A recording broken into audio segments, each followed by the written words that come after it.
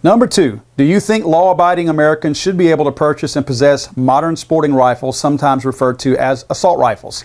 Now, understand that I'm wording these questions properly, but I'm using quotes when necessary, like whenever I call an assault weapon assault weapon.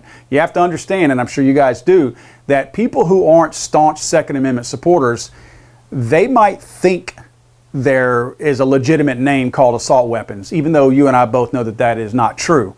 Um, we'll get into it in another video. Assault rifles is an actual military term that's used to describe an inter intermediate rounded um, a gun.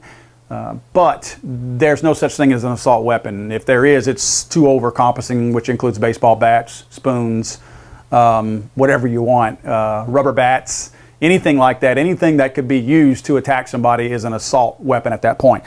So, again, to read it one more time, do you think law abiding Americans should be able to purchase and possess modern sporting rifles, sometimes referred to as assault rifles? Okay, same order, Rob Anderson. Rob Anderson comments, yes, exclamation point.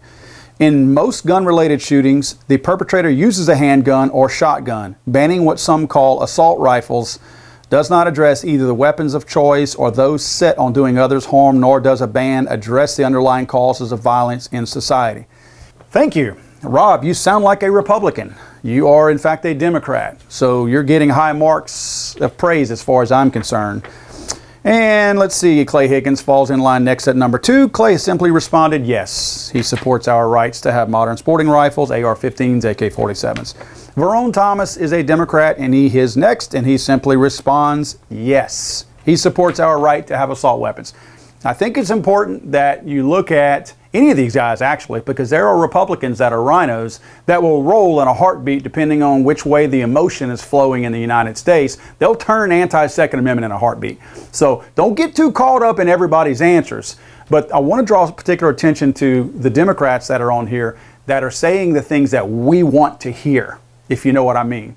Because I'm going to call them on it. So if one of these guys goes to Washington, and even if it's a Republican, and they support a ban on AR 15s of any kind, and they answered yes here, I'm going to call them on it. Just letting you guys know.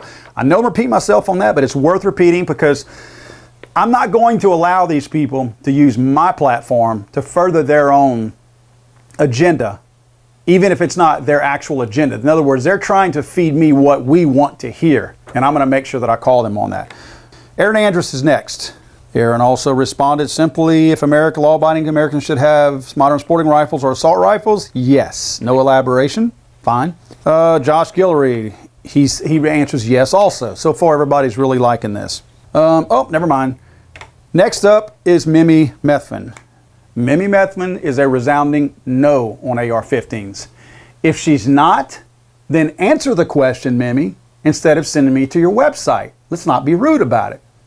So if you disagree with the answer that I'm going to be giving on your behalf, you can reach out to me and give the correct answer if I'm wrong. However, I'm left with using your website, which says, as a member of Congress, I will stand with the veterans and others in Congress who support restrictions on sale of assault weapons such as the AR 15.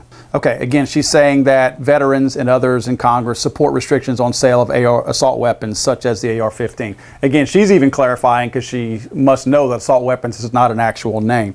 So Mimi is a resounding no, that she does not support us having AR-15s. So I guess her dad only uses a bolt gun when he shoots venison. I know a lot of people that use AR-15 style weapons, a lot, whenever they hunt. So clearly, these are some people that are, eh, not really exposed to the same reality that we're exposed to.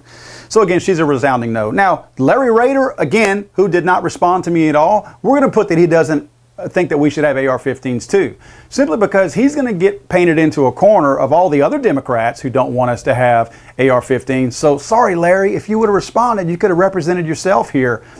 I'm not going to represent you for you. I'm not going to go out there and campaign for you. If you want to give an answer that's going to attract people to vote for you, you have to give it. I'm not giving it for you.